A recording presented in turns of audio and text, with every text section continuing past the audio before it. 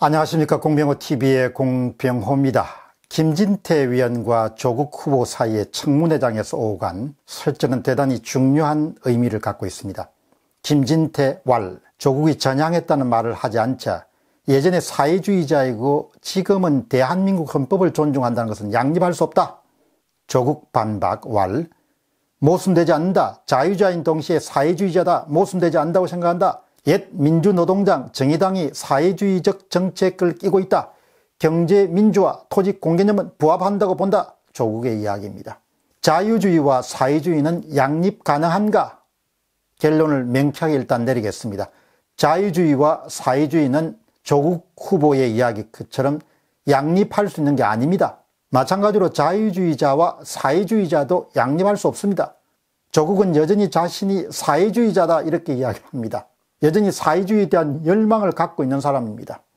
그러나 그가 이야기하는 자유주의자와 사회주의자는 양립할 수 없기 때문에 그는 사상적으로 법무부 장관에 임명될 자격이 없습니다.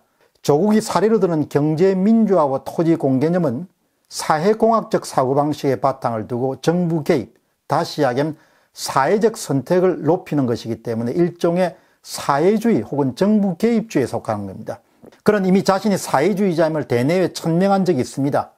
노태우 정부에서 추진했던 토지 공개념은 이미 위헌 판결을 받았습니다. 그는 민정수석으로 재직하던 2018년 3월 달에 위헌 판결을 받은 토지 공개념을 다시 부활시켜서 헌법 23조와 122조를 개정하려고 하는 움직임의 주도적인 역할을 했습니다.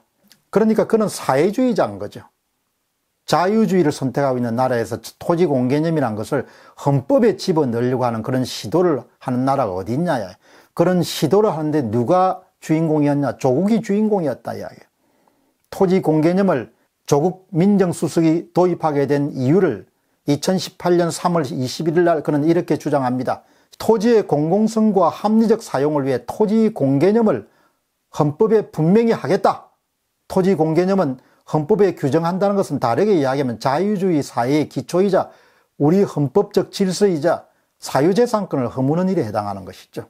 한국 사회를 사회주의 길로 이끄는 조치를 그가 취하려고 한 것이 2018년 3월 달에 헌법 개정을 통한 일이었습니다. 그러니까 그는 확실한 사회주의자인 거죠. 그래서 전향했냐? 김진태 위원이 물어도 이야기를 안 하는 겁니다. 자유주의자와 사회주의자가 양립할 수 없다는 겁니다. 그의 주장은 틀린 겁니다. 그 틀린 것은 무지에서 나왔거나 아니면 거짓말하거나 두 가지입니다. 무지에서 나왔으면 이해를 할 수 있지만 거짓말을 했으면 위정죄에 속하는 거죠. 그러나 조국은 대단히 이율 배반적인 인간입니다.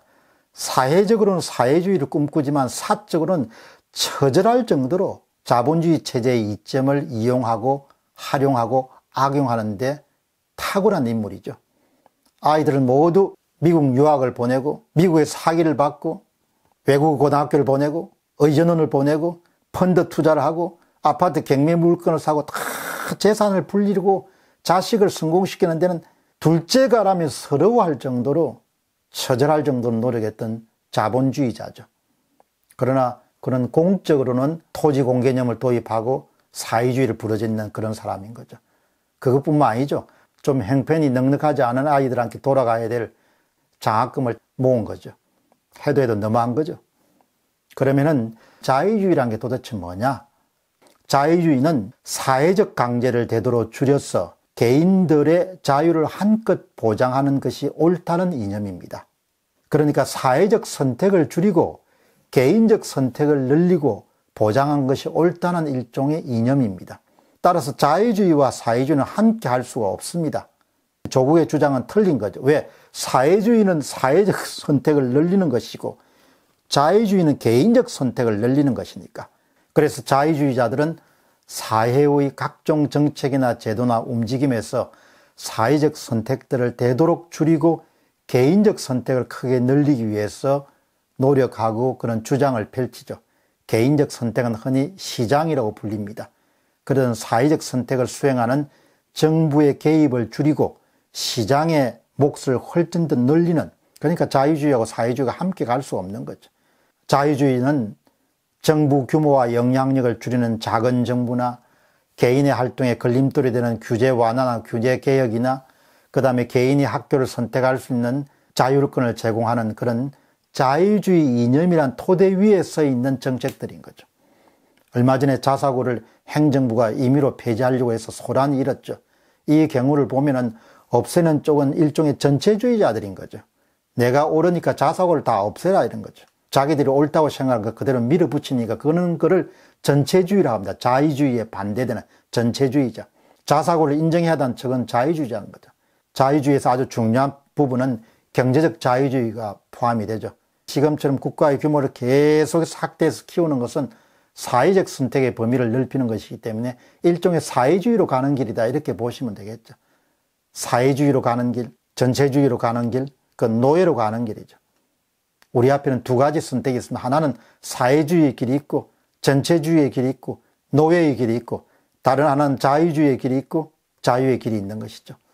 지금 우리는 사회주의 길, 전체주의 길, 노예 길로 달려가고 있으며 이는 조국 부류의 인물들이 갖고 있는 사상과 일치하는 것이죠. 그런데 하나 역사적 경험은 이론적 경험은 분명하게 가르쳐 주는 것이 있습니다. 사회적 선택을 많이 높이는 사회는 망한다는 겁니다. 개인적 선택을 많이 높이는 사회는 개인의 창의성이 극대화돼서 잘 산다는 겁니다. 그 명백한 역사적 사실을 사회주의자들은 길을 닫고 눈을 감는 거죠. 정부의 규모를 계속 키워가는 것은 다른 말로 하면 사회주의의 길로 가는 것이죠. 마지막에는 경제 위기 만나고 경제 파탄으로 끝나게 되죠. 다시 한번 더 정리하면 조국이 이야기하는 자유주의와 사회주의는 함께 할 수 없다. 자유주의자와 사회주의자는 함께 할 수가 없다. 그 점을 조국이 거짓말을 하거나 아니면 무지해서 그런 주장을 펼쳤지만 제가 CCBB를 분명히 가립니다. 두 가지는 함께 갈 수가 없다는 겁니다. 공병호 TV의 공병호였습니다. 감사합니다.